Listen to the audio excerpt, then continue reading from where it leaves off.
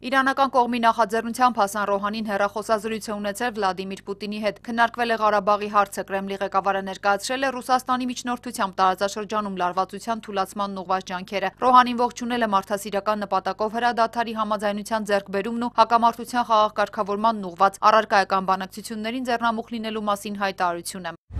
Ֆրանսիայի արտգործնախարարությունը ողջունում է Լեռնային Ղարաբաղում մարդասիրական հրադադարը Փարիզը կոչ է արել կողմերին առանց նախապայմանների վերսկսել առարկայական բանակցությունները ԵԱՀԿ Միսկի խմբի համանախագահների միջնորդությամբ։ Այժմ հրադադարը պետք է իրականացվի ու խստորեն պահպանվի երկու երկրների միջև ռազմական գործողությունների մշտական դադարեցման համար պայմաններ ստեղծելու նպատակով։ Ֆրանսիան, ինչպես եւ նախկինում, պատրաստ է իր ներդրումն ունենալ այդ հարցում։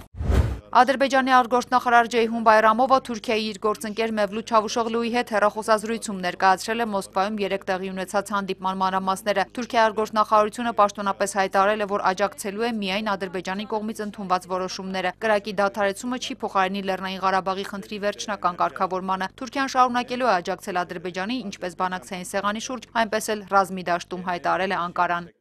Երևանի եւ Բաքվի միջև եթե ոչ խաղաղության, ապա հրադադարի հնարավորություն կա, Facebook-ում գրել է Ռուսաստանի Դաշնային ժողովի Դաշնային խորհրդի միջազգային հարցերի հանձնաժողովի ղեկավար Կոստանտին Կոսաչովը։ Նրա կարծիքով այժմ գլխավոր պատասխանատվությունն ընկած է հակամարտության կողմերի վրա։ Տեղի ունեցել գլխավորը, քանդվել է փոխադարձ բռնության փակ օղակը։ Արկա է եթե ոչ խաղաղության, ապա հրադադարի հնարավորություն։ Ավելի լավ է դա, քան ոչինչ։ Սադրիչները, եթե կրկին հայտնվեն, վերջին հաշվով կրակելու են յուրայինների, գերիների եւ սպանվածների վրա, եւ նրանք պետք է իմանան այդ մասին։ Այդ իսկ պատճառով սադրիչներ չպետք է լինեն եւ ոչ մի կողմից։ Կրակի դադարեցման մասին մոսկովյան պայմանավորվածությունները կլինեն առաջին քայլը դեպի երկարատև հրադադարը Լեռնային Ղարաբաղում կարծում է ԵԱՀԿ Մինսկի խմբի ամերիկացի նախկին համանախագահ Քերիկ Հավանոն։ Նախկին պաշտոնյայի կարծիքով այս հրադադարը կարող է պայմանական լինել, հաջորդ քայլը կարող է լինել ներկա հրադադարը պահպանելու մշտական հրադադարի ավելի լայն քննարկումը։ Սա առաջին քայլն է դեպի համաձայնագիրը, սակայն հետագա համաձայնագիրը չի լինի հակամարտության լուծումը, այլ կլինի կրակի երկարատև դադարեցում։ Հուսով եմ, որ հաջորդ շաբաթ Մոսկվայում կսկսվեն ավելի աշխույժ բանակցություններ։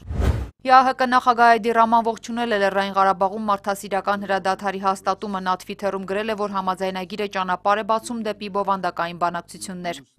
Կանադայի արտգործնախարար Ֆրանսուଆ Ֆիլիպ Շամպայնը թուրք գործընկերոջ Մևլութ Չավուշօղլուի հետ հեռախոսազրույցում կոչ է արել Անկարային չմիջամտել Ղարաբաղյան խնդրին հաղորդում է 10-ը։ Ըստ Շամպայնի Թուրքիայի արտգործնախարարը ընդունել է, որ այս հակամարտությունը ռազմական լուծում չունի եւ անհրաժեշտ է կողմերին վերադարձնել բանակցությունների սեղանի շուրջ, եւ որ ստեղծված իրավիճակից դուրս գալու միակ մեխանիզմը ԵԱՀԿ Միսկի խմբի ձևաչափն է։ Կիրակի Շամպայնը մեկնելու է Եվրոպա այս հարցի շուրջ դաշնակիցների հետ հանդիպման։ Ֆրիդա Ղազարյան, Էպիկենտրոն։